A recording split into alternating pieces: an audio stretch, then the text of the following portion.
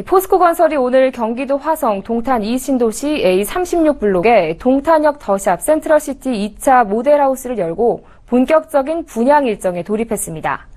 이 아파트는 지하 1층에서 지상 최고 25층 10개 동 전용 74제곱미터에서 84제곱미터 745가구 규모로 구성됐습니다. 더샵 센트럴시티 2차는 동탄역을 도보로 이용할 수 있습니다. 특히 올해 개통 예정의 수도권 고속철도 이용 시 동탄역에서 수서역까지 18분 만에 도달할 수 있습니다. 또한 용서고속도로, 경부고속도로 등의 이용도 편리합니다.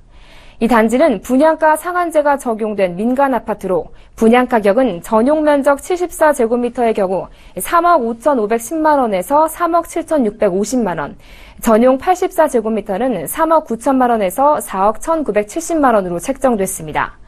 오는 18일에서 19일 1순위와 2순위 청약 접수를 받고 당첨자 발표는 25일입니다.